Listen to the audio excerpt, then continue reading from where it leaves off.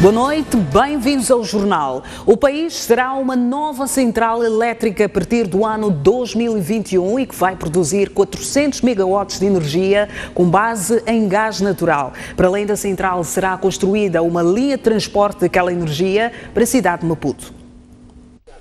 A central e a linha de transporte de energia elétrica deverão custar 1,2 bilhão de dólares, valor que ainda não existe.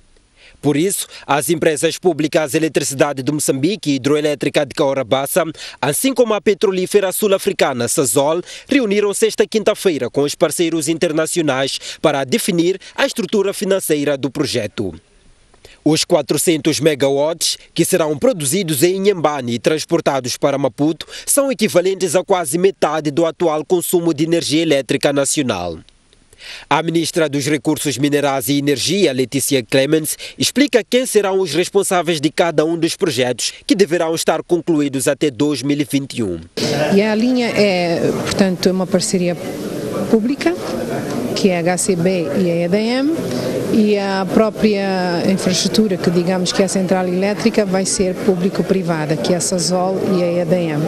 E vai-se abrir, obviamente, vai-se definir quais são os outros parceiros que possam estar interessados em entrar no projeto. Por seu turno, o presidente do Conselho de Administração da Eletricidade de Moçambique explica que a linha de transporte de energia vai estar pronta seis meses antes da central elétrica, dado que esta é que vai viabilizar a central. Mateus Magala diz que o projeto vai aumentar significativamente as receitas financeiras da EDM. Se o que nós temos hoje uh, podemos faturar uh, cerca de meio bilhão de dólares, significa que uh, adicionando 400 nós podemos levantar a nossa receita até os níveis de um bilhão de dólares ou mais.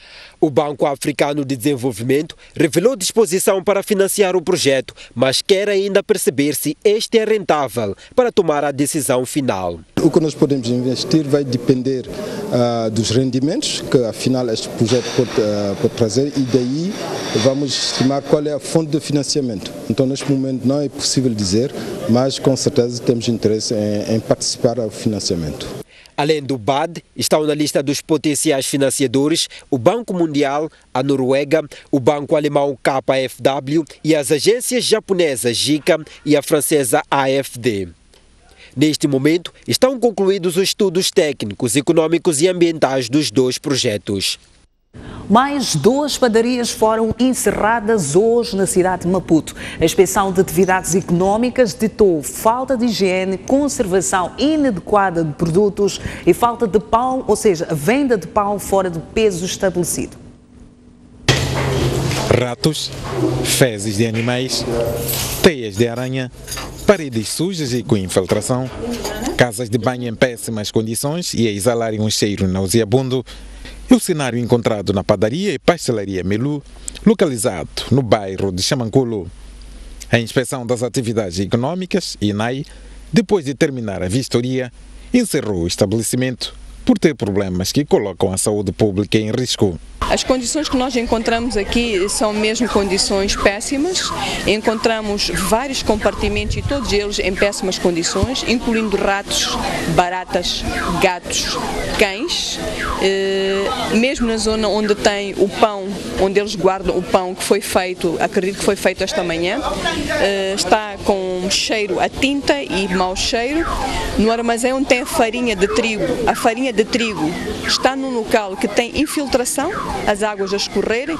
Por cima dos sacos da farinha de trigo tem gatos e também está imune aquele local que nós eh, encontramos com a farinha ali guardada. Além dos problemas relacionados com a higiene e conservação de produtos, a padaria vendia pão abaixo do peso recomendado, o que constitui outra infração. A INAI inspecionou, ainda nesta quinta-feira, mais três estabelecimentos comerciais. Visitamos duas pastelarias. Estas duas pastelarias, uma delas tivemos que encerrar, que é uh, o restaurante Zambese, que uh, está em condições uh, não muito boas em termos de higiene e limpeza. Neste caso, nós recomendamos que eles façam uma limpeza geral, tirem o, os utensílios, os objetos que não estão a ser usados naquele restaurante para evitar que tenham problemas de imundície naquele local. Visitamos uma outra pastelaria que encontramos em condições eh, não, não muito eh, não más, em que só com uma pequena limpeza, então esta nós não encerramos porque está em condições de poder continuar a elaborar. Entretanto, a INAI reabriu as padarias, o forno e Mapão, Mabão, encerradas por não apresentarem boas condições de trabalho. Em Nampula, mais de 120 doentes apresentaram-se com cólera na unidade sanitária do posto administrativo de Netia, a 12 quilómetros de Namialo. Noutros distritos vizinhos, há pacientes que começam a apresentar sintomas da doença nos últimos dias.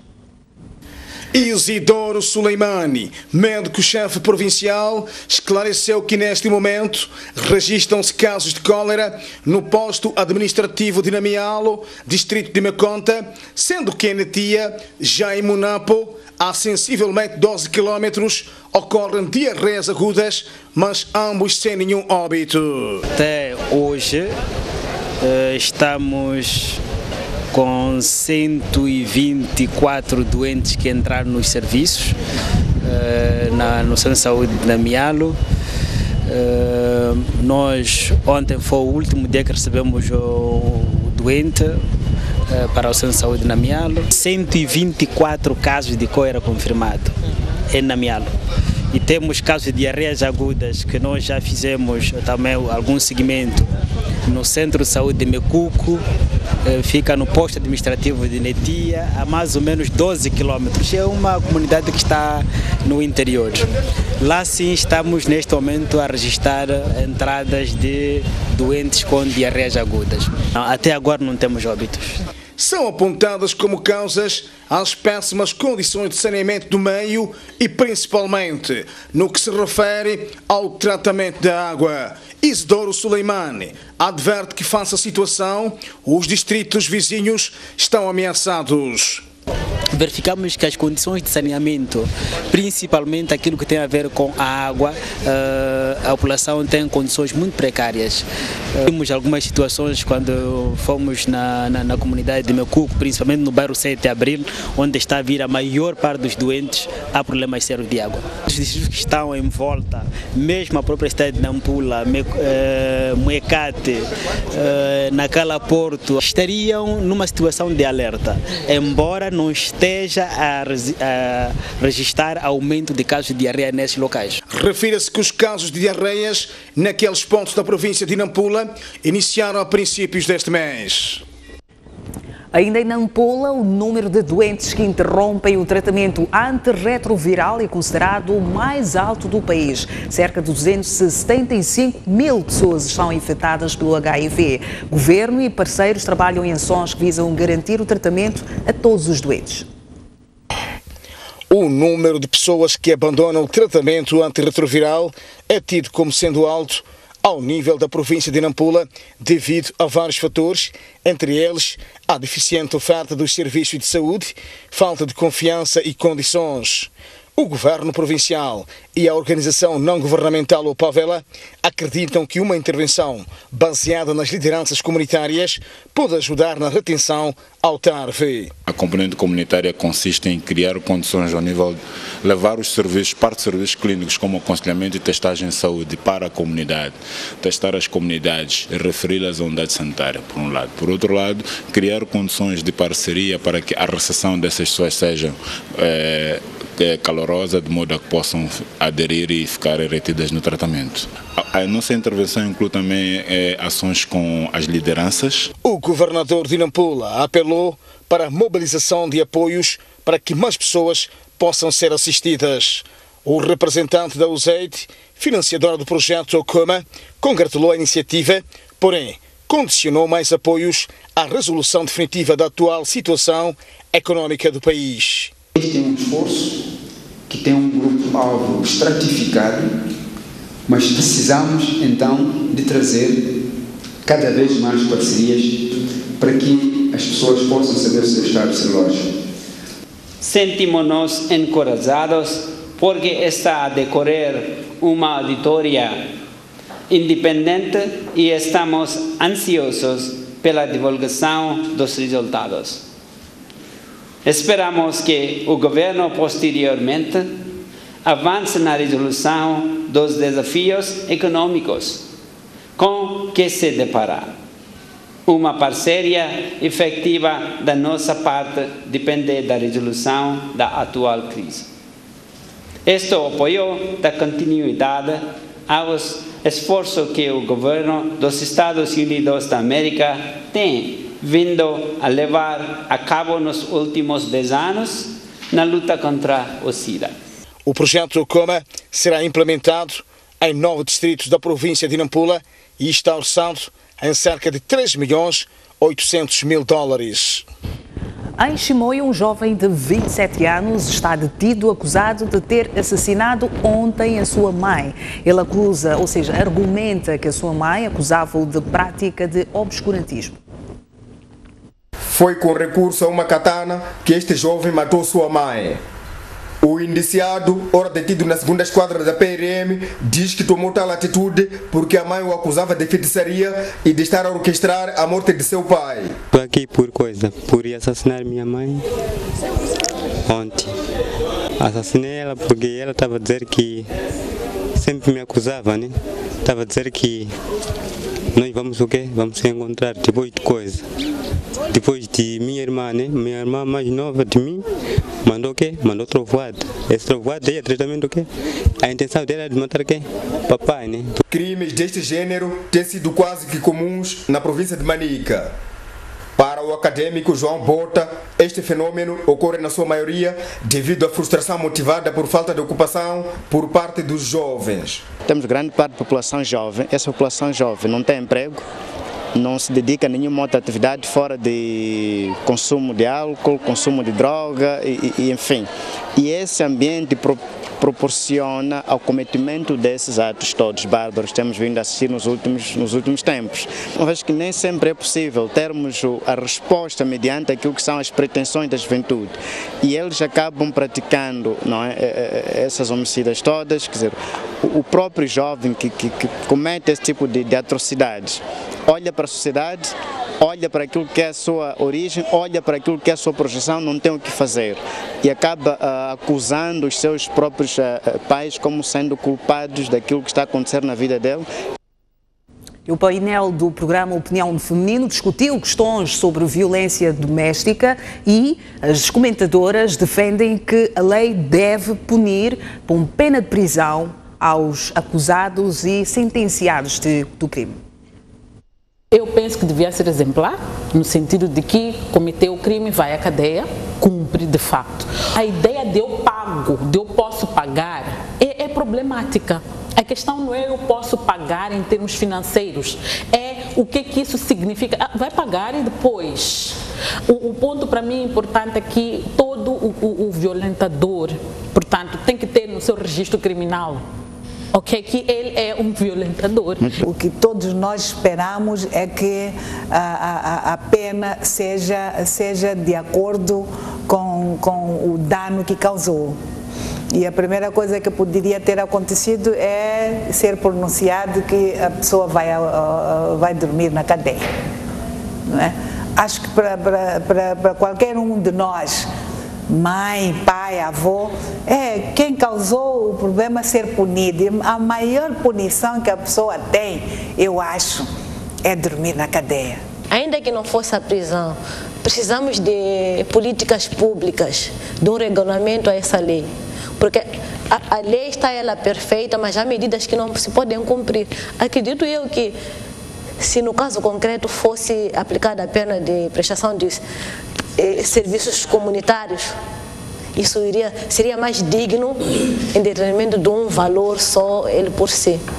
Hoje não há respeito nem para com mãe, nem para, nem para com pai, nem um filho para com os pais, nem a irmã para com os irmãos, nem com ninguém, nem, nem, no, nem no funeral. Não há respeito entre nós.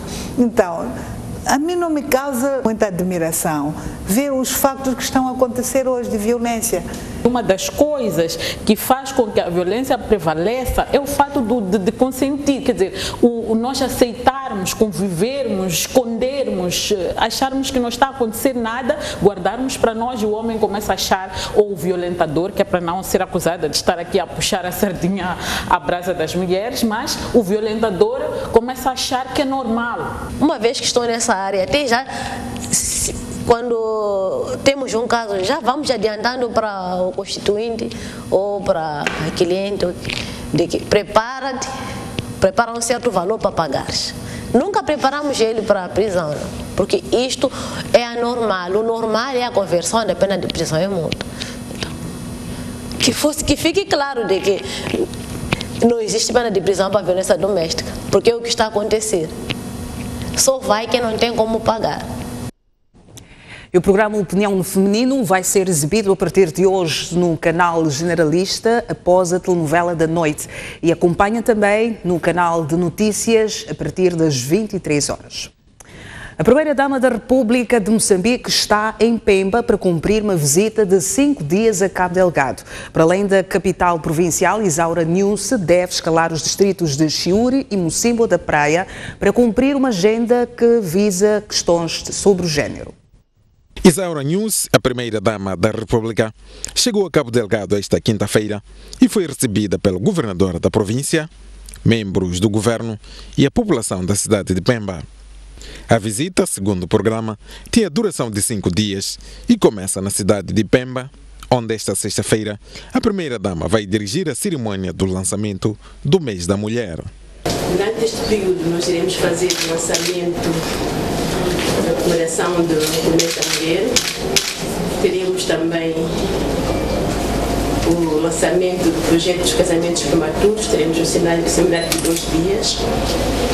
Este seminário visa impulsionar a implementação da Estratégia Nacional de Combate aos Casamentos Prematuros.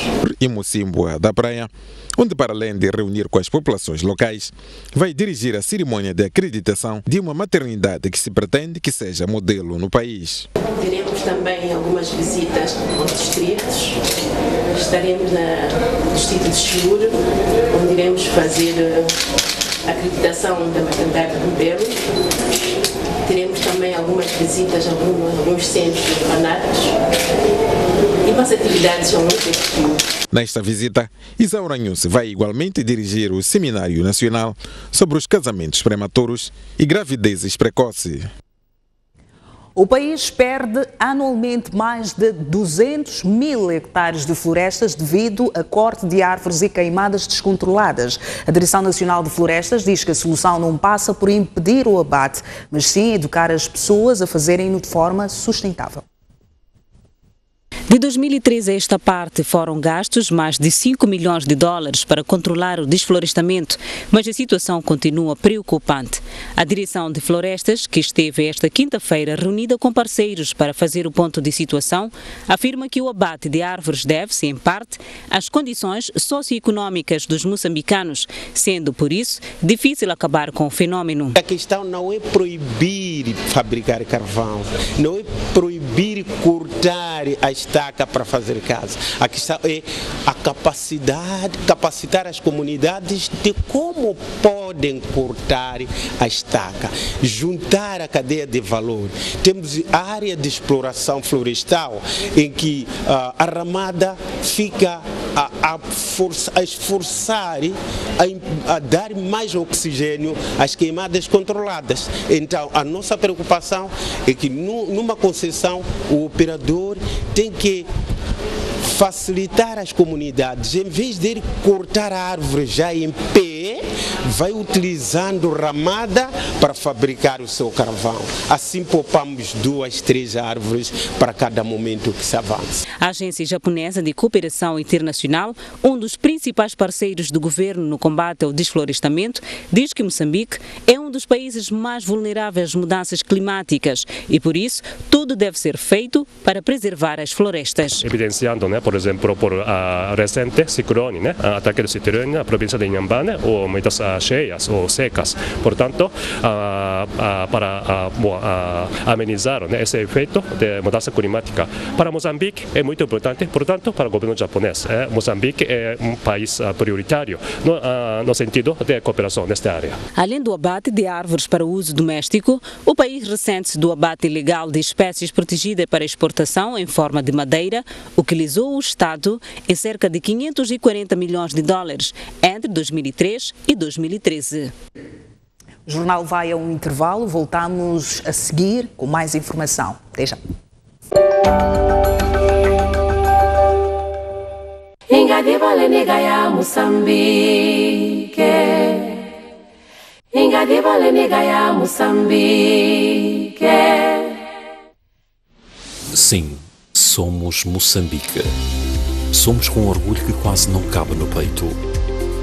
A nossa história muitas vezes confunde-se com a história do nosso país. Afinal, nascemos e crescemos com o sonho e o suor necessários para todos nós moçambicanos.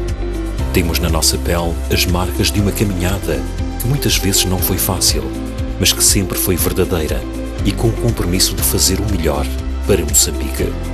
Sentimos-nos parte integrante da história de vida de cada moçambicano. Os principais protagonistas para as nossas histórias. Histórias onde cada sorriso, cada lágrima, cada laço amoroso, cada notícia, cada momento, tudo nos inspira para continuar a produzir, para fazer uma TV cada vez melhor para o nosso país. Temos o prazer de entrar em casa de cada moçambicano, do litoral ao interior da capital às zonas rurais. Entramos e contamos histórias, histórias reais, histórias fictícias. Regamos os sonhos, expomos realidades, vivemos Moçambique. É através desse prazer de contar histórias que nos sentimos parte integrante de uma revolução. Na verdade, uma evolução vivida pelo nosso país nos últimos anos. Assim somos nós uma emissora completamente engajada com a responsabilidade de levar Moçambique para Moçambique, Moçambique para o mundo e trazer o mundo para Moçambique. Somos o respeito pelas diferenças, somos a fauna, a flora, a cultura, somos a cara dos jovens e dos mais velhos, somos os homens e as mulheres, somos para ele, para ela, para eles, para todos. Temos no nosso DNA a força de um povo guerreiro, feliz e comprometido com o futuro. E isso faz toda a diferença. Reunimos os melhores profissionais com a tecnologia mais avançada para entreter, comunicar e ajudarmos na educação e na promoção da cidadania. Somos uma TV feita por moçambicanos. Somos uma TV feita para moçambicanos. O tempo continuará a passar e nós, na STV, estaremos sempre juntos convosco, pois ao longo destes nossos 15 anos de história ao seu lado, afirmamos com muito orgulho: somos todos Moçambique.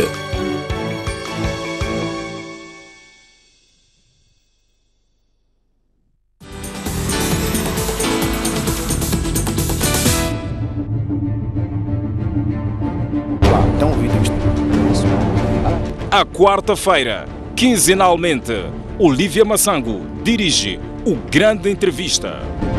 Como é que o presidente Samora lidou com o fracasso do socialismo? O presidente Samora Machel foi um dos primeiros a ver que é preciso ir de outra maneira, fazer de outra maneira as coisas. Julga ser este momento ideal para atribuir autonomia às províncias? Eu acho que esse debate devia ser feito no parlamento, não é? O país precisa de uma governação capaz de resolver esses problemas básicos. Um Estado forte necessita de uma sociedade civil forte. O, o protesto social, pacífico, aliás, de opinião muitas vezes, é criminalizado, é vítima de violências. Isso não pode acontecer. Fazendo uma análise no pior cenário. No pior cenário, daqui a um ano não temos água, nenhuma. Questões que mexem com diversos setores da sociedade a serem respondidas pelas pessoas visadas. Em que é que se traduz este acarinhamento, este apoio ao setor privado? É correto que o governo, por exemplo, aplique sobre taxas a importação de um produto para proteger a indústria nacional. Isso não é possível. Eu tenho uma certa relutância em dizer o Estado ou o Governo. Nós estamos a falar de pessoas. Que tipo de participação reivindicam no diálogo político? Uma participação igual. Grande entrevista aqui.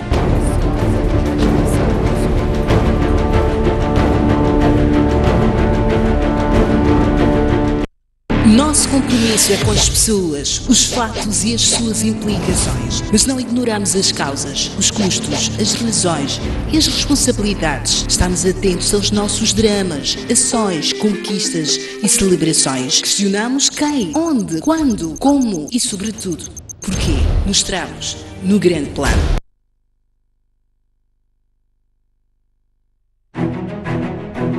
Mais um baú. Recordações, momentos épicos, momentos marcantes, grandes vitórias, campeões. Como é que o futebol começou na sua vida e o que é que foi o futebol? Eram todas equipas bem estruturadas com um futebol de se tirar o chapéu. A gente jogava aqui na Baixa, saía da Baixa.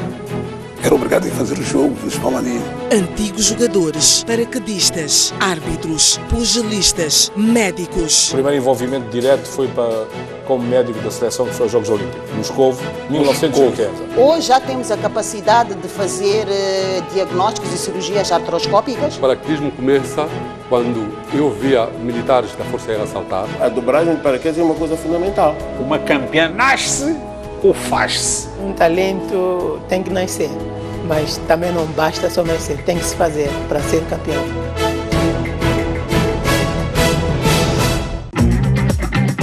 Ler o jornal O País ficou mais fácil. É isso mesmo. O País Digital está à sua disposição onde e quando quiser. No seu computador, no seu celular ou no seu tablet. Não perca mais tempo. Faça a sua subscrição e leve o país sempre consigo. O País. A verdade como notícia.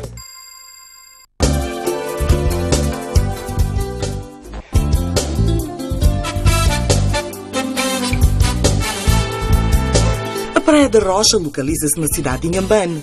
Possui uma área de cerca de 26 hectares, com características invejáveis pela sua composição de recifes de corais, águas cristalinas, fauna subaquática e é conhecida pela sua população de raias.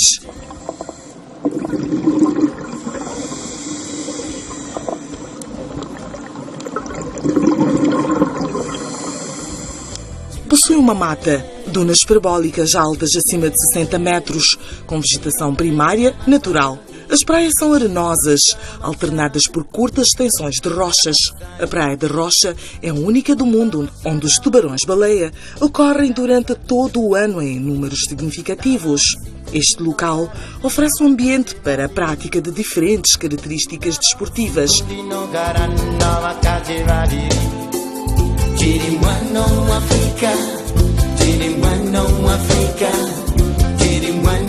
Africa, Chirimwano Africa, Chirimwano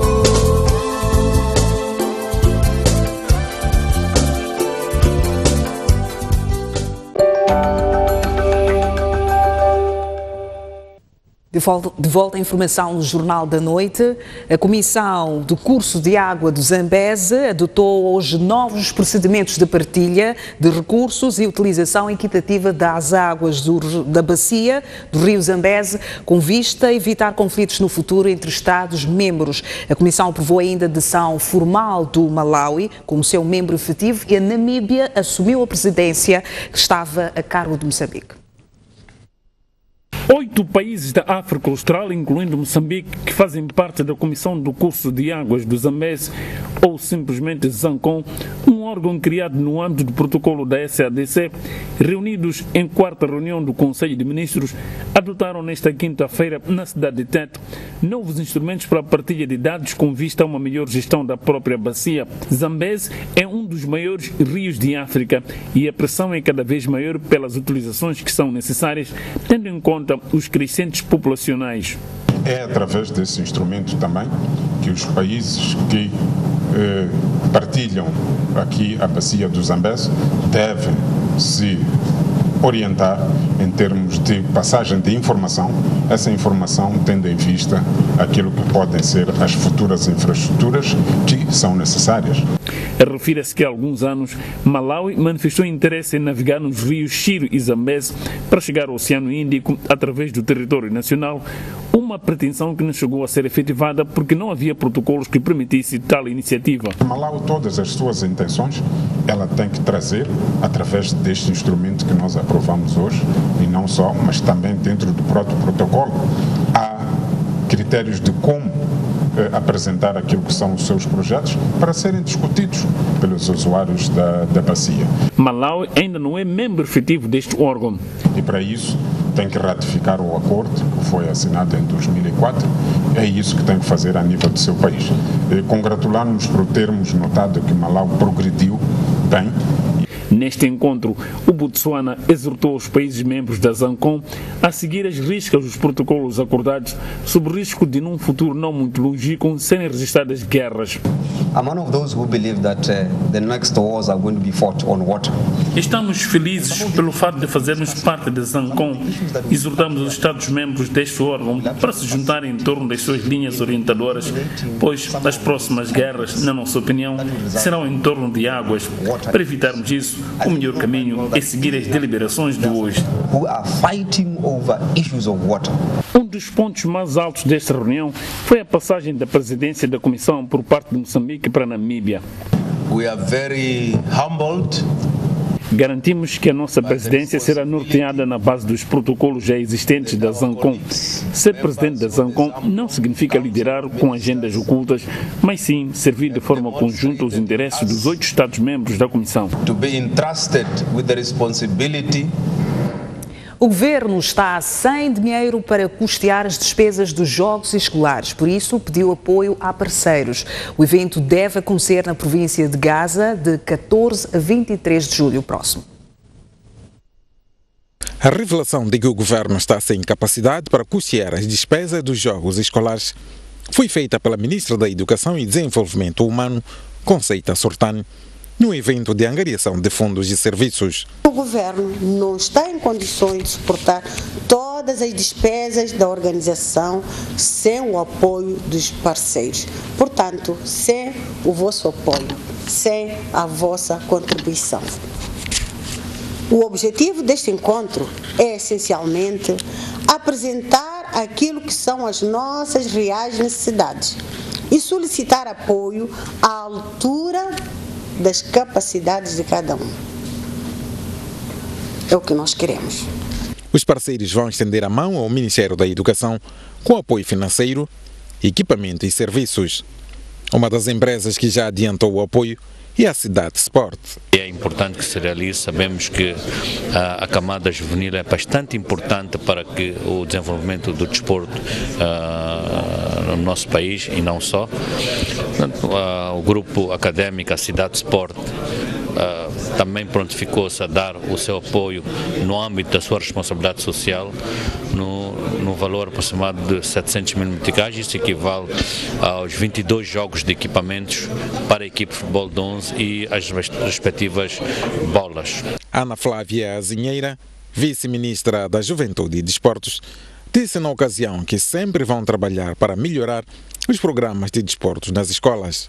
Aumentemos a base da nossa pirâmide, porque consideramos que esta pirâmide atualmente está invertida, porque maior atenção neste momento está indo para a alta formação. Os Jogos Escolares deste ano decorrem sob o lema Desporto Escolar, Conservar a Natureza e tem como mascote o rinoceronte. Vão decorrer em Gaza de 14 a 23 de julho próximo. Em Climane, três indivíduos armados assaltaram na manhã de hoje o homem que estava próximo ao balcão de um banco no centro da cidade. Os desconhecidos levaram consigo 200 mil meticais. O facto ocorreu por volta das 9 horas e 30 minutos desta quinta-feira, quando Amin Ismael desceu do carro e seguiu em direção à porta do Banco Comercial de Investimentos BCI para efetuar depósito dos valores na ordem de 200 mil meticais. Ismael contou que na sequência foi interpelado por dois dos três homens portadores de armas de fogo do tipo pistola. Na sequência, os meliantes deixaram cair, pegaram no valor e colocaram ficaram sem fuga. Vinha, vinha fazer depósito aqui no BCI. Quando o meu carro encostou aqui, encontramos uma Renex também aqui por trás de nós. Eu quando abri a porta, então quando sai um senhor deste lado aqui, a correr, veio-me pregar uma rasteira, cair no chão. Eu quero resistir, ele mostra uma pistola. Então, o segurança que vinha de dentro, quando vinha para vir-me socorrer, então saiu um outro também do carro que lhe mostra uma arma. Ok. E o que terá acontecido a seguir? A seguir, eles puseram-se em fuga. Na altura, aqueles meliantes faziam-se transportar numa viatura da marca Toyota Renex cor cinzenta. No momento em que os mesmos faziam a sua manobra, embateram de forma ligeira na parte frontal desta viatura da marca Toyota modelo Surf. Entraram no carro? Entraram no carro, fizeram a manobra aqui mesmo, até bateram aquele carro ali de trás e contornaram e foram assim para a via da Marginal. Ok. Conseguiu ver as pessoas que eram? Bem, a única... Climane, conhece as pessoas? Não sei, a única coisa que eu posso dizer, talvez o motorista viu os cabelos dele, Hum. era um rastaman, né? É a única coisa que eu consegui detectar. E o carro também era um remix como este. Viu a cor da. É o cinzento, a cor cinzenta. A matrícula? Não, não cheguei de ver. Pediu socorro aos seguranças aqui?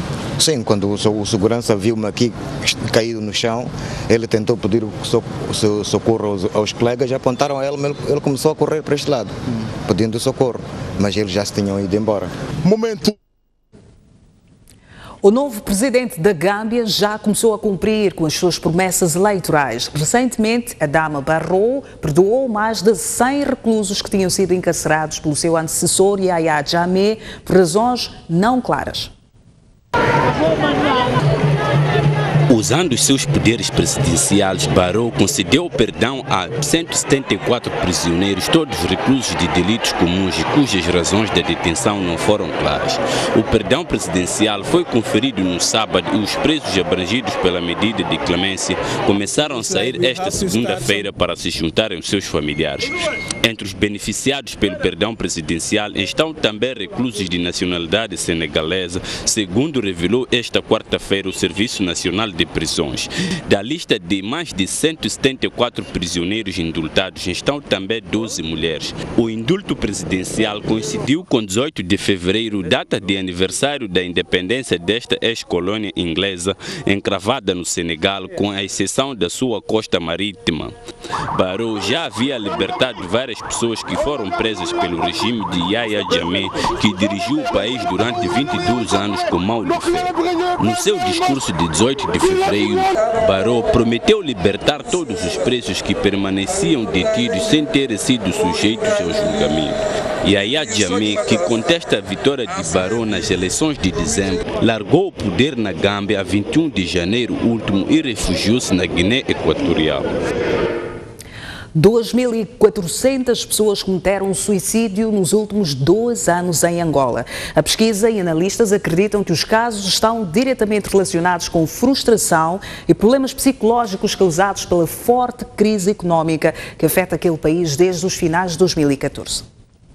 Os dados são avançados pela médica psiquiatra Fausta Conceição, afeta a polícia angolana, que falava esta quarta-feira a propósito da apresentação do seu livro Suicídios em Angola.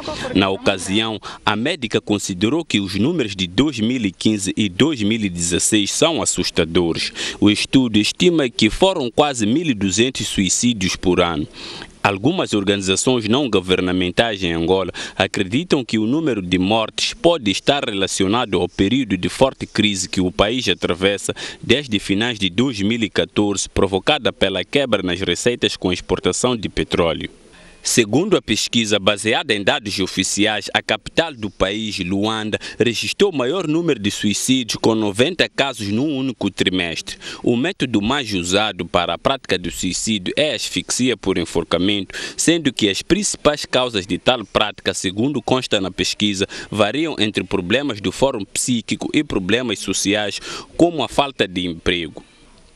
A pesquisa alerta para números ainda mais graves, tendo em conta que muitos casos de suicídio não chegam ao conhecimento das autoridades devido ao estigma e tabu que ainda persiste no seio de muitas famílias. Na Turquia, a polícia antiterrorista deteve 35 alegados membros do grupo extremista Estado Islâmico numa operação realizada em dois bairros de Istambul.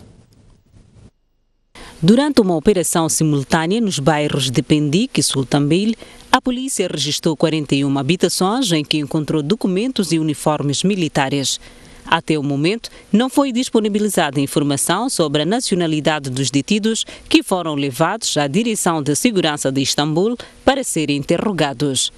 Ao todo, são 35 supostos membros do grupo terrorista do Estado Islâmico que estão a contas com as autoridades da Turquia. O Estado Islâmico tem sido responsável por vários atentados na Turquia nos últimos 18 meses e os civis têm sido o principal alvo. As autoridades intensificaram, por isso, os esforços para desmantelar possíveis redes do grupo que operam no país. A Turquia é membro da NATO e integra a coligação liderada pelos Estados Unidos da América contra o Estado Islâmico. Vamos agora fazer uma breve pausa e voltamos já a seguir com mais informação, mas antes as previsões meteorológicas para as capitais provinciais do país.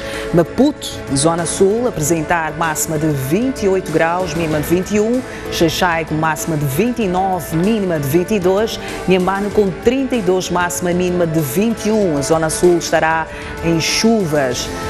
Igualmente no centro teremos uh, chuvas apenas em Tete, Beira terá máxima de 32 graus, mínima de 26, 30 máxima para Chimoio, mínima de 20, Tete máxima de 34, mínima de 24, Climane com 34 máxima e mínima de 24 graus Celsius. No norte, a cidade de Nampula registra máxima de 32, mínima de 24, Lexinga com máxima de 26, mínima de 17 e Pemba com 31 graus, máxima mínima de 24. Esta é a zona norte com chuvas também para amanhã.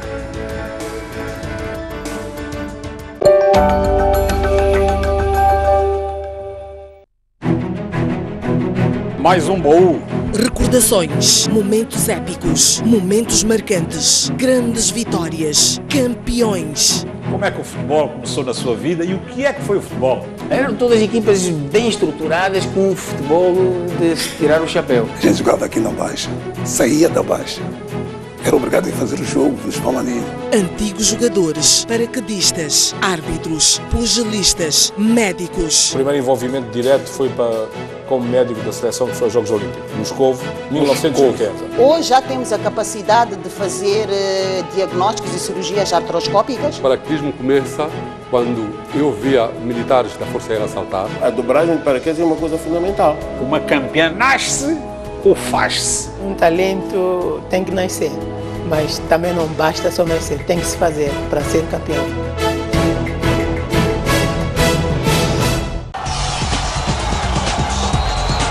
Domingo, domingo, você acompanha as principais incidências do final de semana desportivo. A arte e magia das estrelas. A festa e emoção. Registro dos momentos mais marcantes do desporto moçambicano. Ganhar, ganhar e ganhar. Comentários fundamentados de figuras apalizadas e incontornáveis. Nós temos que estar ao nosso melhor nível. Simplesmente tem que procurar alternativas.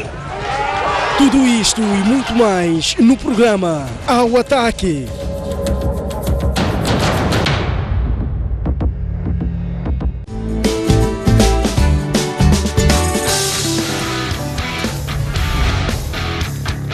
Apareceu uma mancha no seu rosto e está preocupado porque não sabe o que é.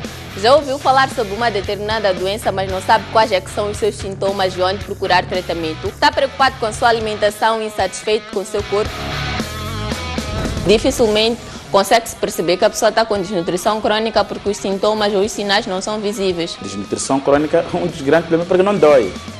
É recomendado uma visita periódica ao dentista. Uma das maneiras de prevenir a doença renal é tratar, portanto, a doença de base. Tanto o período em que está a usar o anticonceptivo, a mulher não engravida.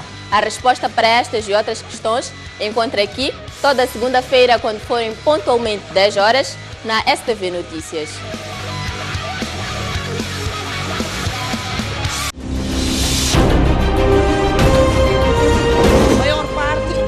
Para novos tempos e novas esperanças. A grande questão agora é tentar perceber como é que uma obra tão recente desabou.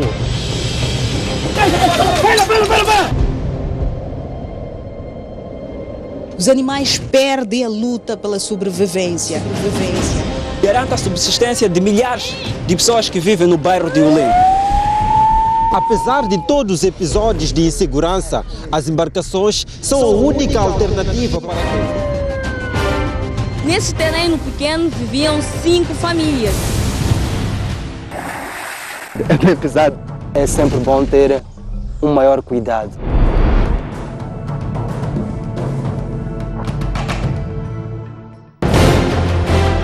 Um país sem história é um país sem futuro.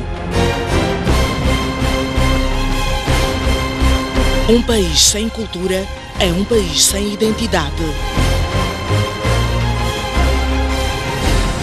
Um mundo sem referências é um mundo sem norte. Um país sem ídolos é um país sem referências.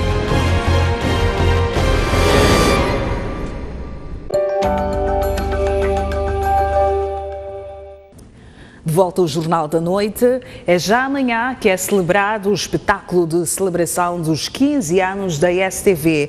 Os artistas e a organização garantem que tudo está preparado para que o espetáculo seja um sucesso. Os músicos adiantam que haverá surpresas para os espectadores. Som, luz e palco montados decoram neste momento os últimos acertos para o espetáculo desta sexta-feira, que marca os 15 anos da STV. Assistimos aos ensaios de dois dos quatro músicos que vão fazer parte deste concerto, nomeadamente Stuart Sukuma e Valdemir José.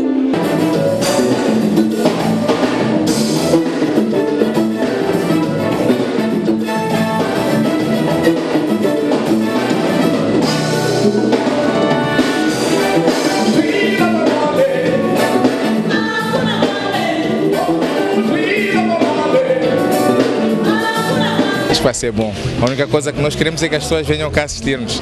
E eu acho que também isso está garantido. Já recebemos muito feedback das pessoas que estão aqui. Os ensaios estão fortes, como vocês podem ver. Uh, o som está bonito. Temos o Felipe Mondlane uh, no som, que é som garantido. Tenho aqui as minhas acompanhantes, a, a, a Sandra e a Felicidade. São as minhas confiadas aqui na banda.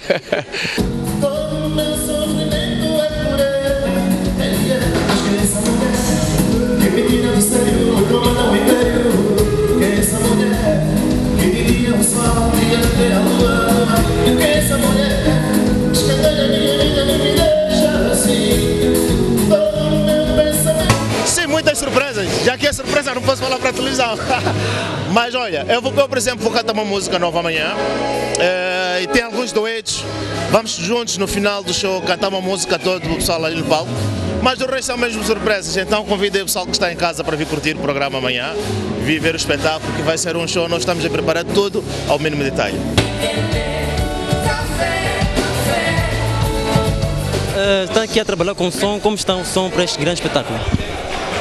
Eu acho que está tudo controlado. Ahm, pelo menos a banda que já fizemos aqui, o som está bom. E vamos ter a mesma qualidade amanhã, se calhar melhor até, porque ainda estamos a, a conhecer o terreno. Acho que está tudo controlado. A organização garante que está tudo preparado para este espetáculo de celebração dos 15 anos da STV, mas aconselha as pessoas a que cheguem mais cedo. Bom, a organização está 5 estrelas, 100% perfeito. Ahm, aqui apelar as pessoas para chegarem cedo, né? vai ser um evento, não vamos começar muito cedo. Comprem os bilhetes cedo e vai ser um espetáculo muito clássico e a medida do povo moçambicano. Vai ser top.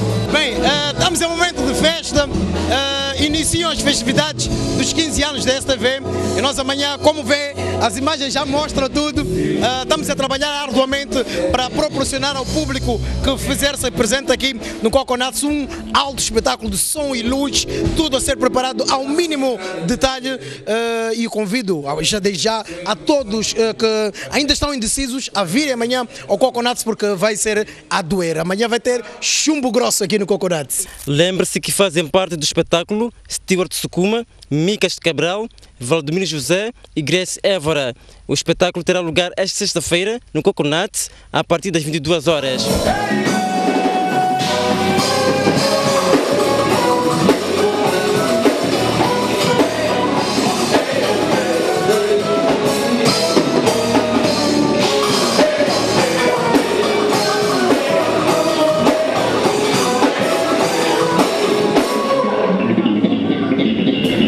Sem dúvidas, um espetáculo a não perder. O Jornal de hoje termina por aqui. Obrigada pela audiência. Nós voltamos amanhã com mais informações. Somos todos Moçambique. STV, 15 anos. Boa noite.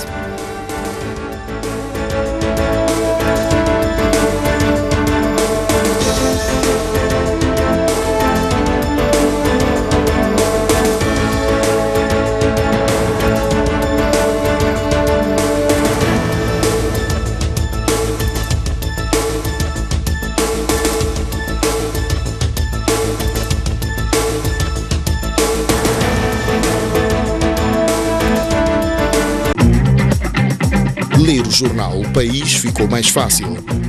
É isso mesmo. O País Digital está à sua disposição onde e quando quiser.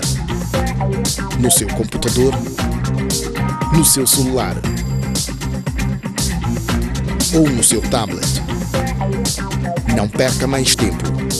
Faça a sua subscrição e leve o país sempre consigo. O País, a verdade como notícia. Domingo, domingo, você acompanha as principais incidências do final de semana desportivo. A arte e magia das estrelas. A festa e emoção. O registro dos momentos mais marcantes do desporto moçambicano. Ganhar, ganhar e ganhar. Comentários fundamentados de figuras apalizadas e incontornáveis. Nós temos que estar ao nosso melhor nível. Simplesmente tem que procurar alternativas. Tudo isto e muito mais no programa Ao Ataque.